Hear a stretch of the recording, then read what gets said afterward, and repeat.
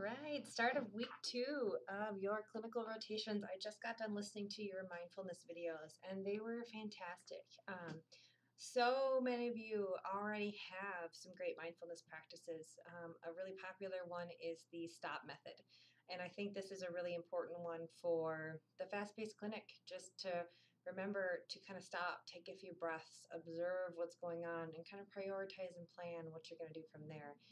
It all comes down to emotional intelligence, feeling what's going on, processing your emotions, dealing with what's going on in front of you so it doesn't come out unintentionally um, when you don't intend it to later. Um, some really good ideas for ways to work with patients, um, some body scanning ideas, some ways to talk to patients about how to use these different types of things through breathing, through uh, being aware of your environment, through being aware of the experience of pain, through yoga, through stretching. Um, you guys did a great job with this assignment.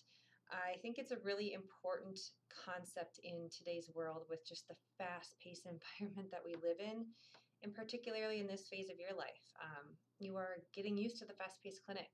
You've still got some coursework in the background boards are looming. There's a lot going on. So, this practice of mindfulness, however it looks for you, is important.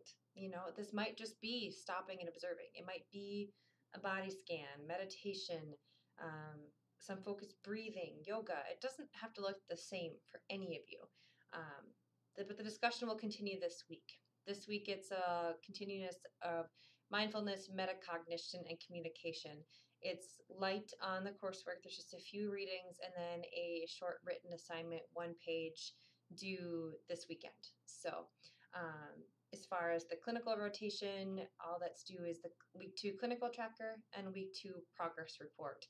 Uh, I really, really enjoyed reading the clinical and tracker. I'm sorry, the clinical tracker experiences from this week as well.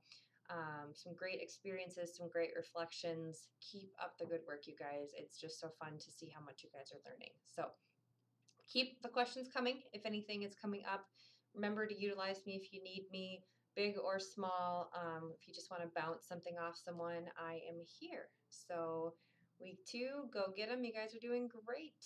We'll see you next week as far as 2700 goes in live class Wednesday night, but no live class for us this week. Happy week number two.